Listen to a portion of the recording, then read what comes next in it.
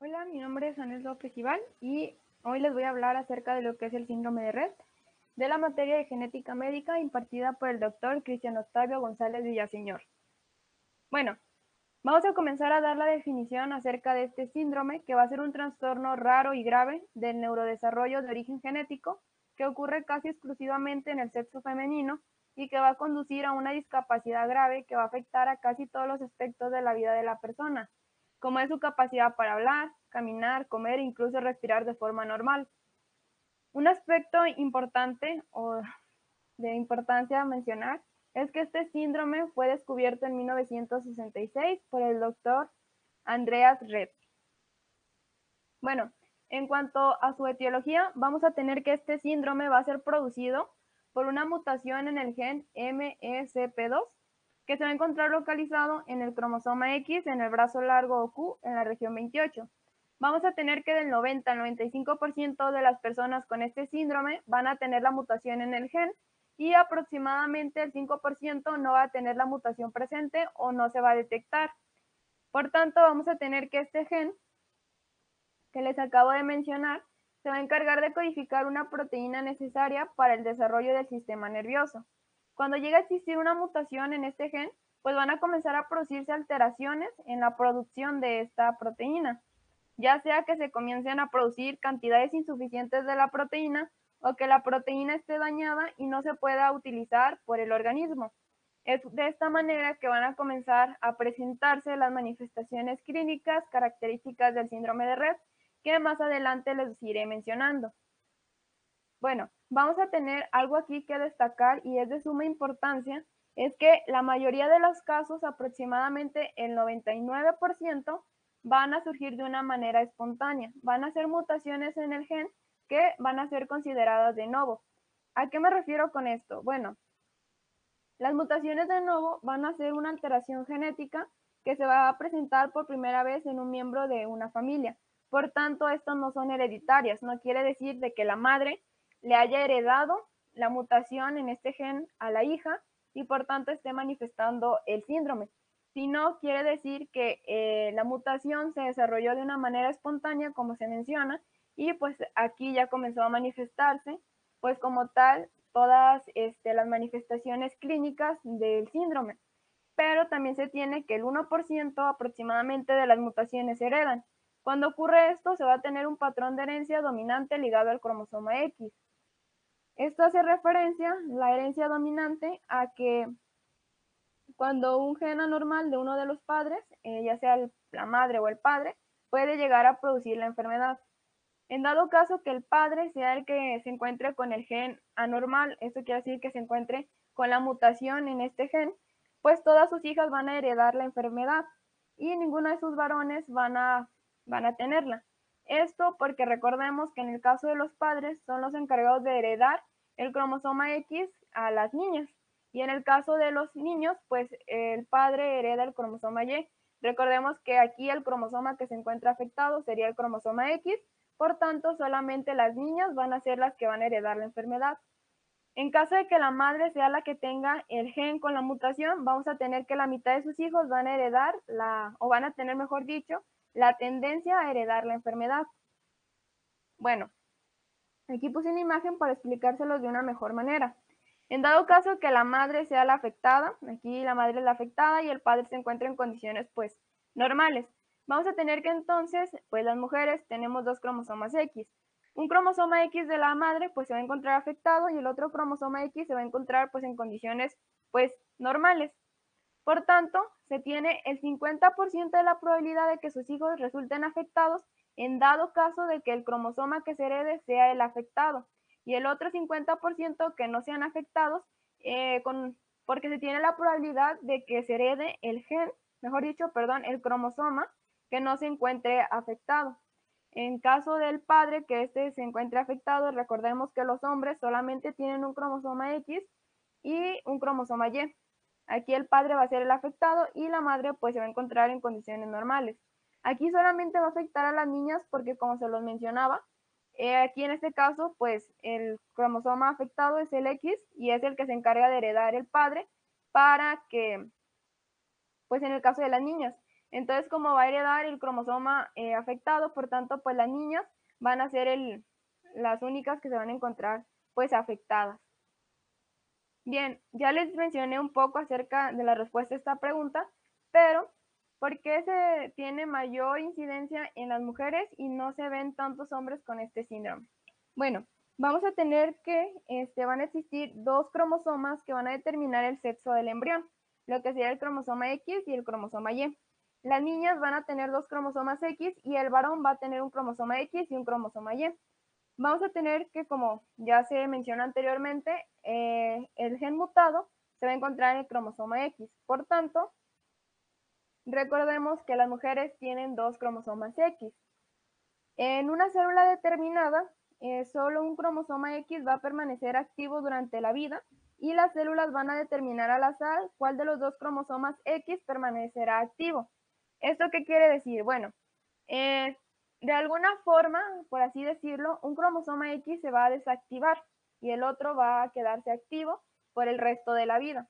Se tiene la probabilidad entonces que en el caso de las mujeres, el cromosoma que se llegue a desactivar sea el que se encuentre, por ejemplo, sin la mutación entonces, en este caso, el cromosoma activo va a ser el que se tiene la mutación y por tanto es cuando se comienzan a tener las manifestaciones clínicas del síndrome. Pero también se tiene la probabilidad de que, por ejemplo, el cromosoma que se encuentre en la mutación este, llegue a ser el que se desactive y el cromosoma activo sea el que pues no tiene la mutación y se encuentre en condiciones sanas. Por eso se menciona que existe un mayor pronóstico de vida para las mujeres porque normalmente por estas circunstancias llegan a sobrevivir la primera infancia. En cambio, los varones, recordemos a que solamente pues, los hombres llegan a tener un cromosoma X. Por tanto, cuando en el gen existe la mutación, normalmente pues estos llegan a nacer sin vida o viven más allá, o perdón, no viven más allá de la primera infancia, porque como solamente tienen un cromosoma X y este va a ser el afectado, pues va a tener unas repercusiones más graves, que también podrían pasar en las mujeres, pero ellas tienen una probabilidad, como ya se los había mencionado, por eh, tener dos cromosomas X. Bueno, vamos a tener también que algunos varones con síndrome de Red van a vivir más allá de la primaria infancia debido a tres razones. La primera puede ser porque se haya producido la enfermedad del mosaicismo. Esto quiere decir que se van a tener dos tipos de células diferentes, un tipo de célula que se va a encontrar en condiciones normales y otro tipo de células que se van a encontrar con, con la mutación. Por tanto, pues se va a tener estas dos líneas celulares distintas eh, y eh, debido al porcentaje de genes que lleguen a tener la mutación, pues van a ser las manifestaciones que se van a estar presentando. Mientras menor sea pues el porcentaje, pues menores serán las manifestaciones. También se mencionaba que eh, un varón puede llegar a tener dos cromosomas y un cromosoma Y, en lo que sería el síndrome de Klinefelter, y va a suceder lo mismo que ya les mencioné anteriormente en el caso de las mujeres. Un cromosoma X se va a desactivar y otro se va a encontrar activo, por tanto, pues también se van a tener un mayor pronóstico de vida por estas razones. Y pues también puede ser eh, porque una mutación genética va a ser de menor gravedad que en otras formas de mutaciones del síndrome de Red. Bueno, y vamos a tener que este síndrome se va a dividir en cuatro estadios. El primer estadio eh, es de aparición temprana, aproximadamente se da de los 6 a los 18 meses. Aquí los signos y síntomas van a pasar desapercibidos, pero los bebés llegan a mostrar menos contacto visual y comienzan a perder interés en los juguetes. El segundo estadio va a ser de deterioro rápido, que este va a ser aproximadamente de 1 a los 4 años. Aquí los niños van a perder la capacidad de realizar actividades que antes podían realizar.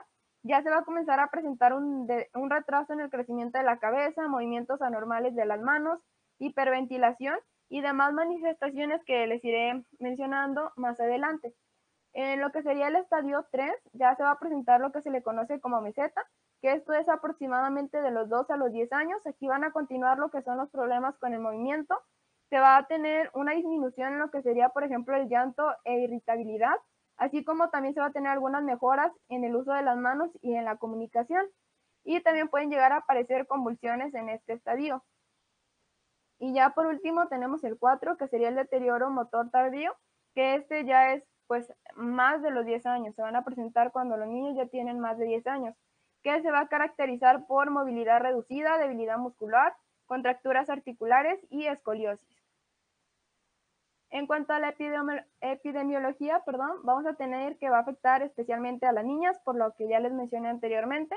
Va a tener una prevalencia de uno por cada 10.000 nacimientos y estas mutaciones aleatorias no suelen ser hereditarias ni transmitirse de generación en generación. En cuanto a la esperanza de vida, vamos a tener que una proporción de pacientes llegan a la vida adulta aproximadamente a los 40 años, pero normalmente la esperanza de vida puede llegar a reducirse porque los pacientes pueden llegar a presentar problemas cardíacos o otras complicaciones de salud. En cuanto a las manifestaciones clínicas, vamos a tener que se va a presentar la microcefalia. Esto hace referencia a que se va a tener una disminución en el tamaño de la cabeza. Eh, aquí se puse una imagen en donde se puede ver la comparación.